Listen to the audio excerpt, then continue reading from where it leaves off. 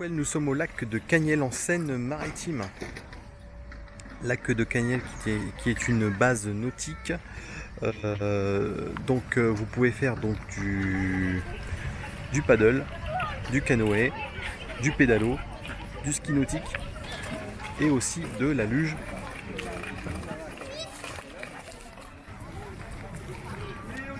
Derrière moi, on peut faire de la luge. En fait, vous êtes tiré par un treuil et vous êtes lancé de d'en haut.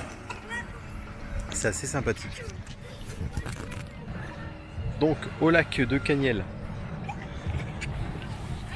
vous pouvez donc stationner votre camping-car librement, sans payer. Et vous pouvez participer à toutes les activités qu'il y a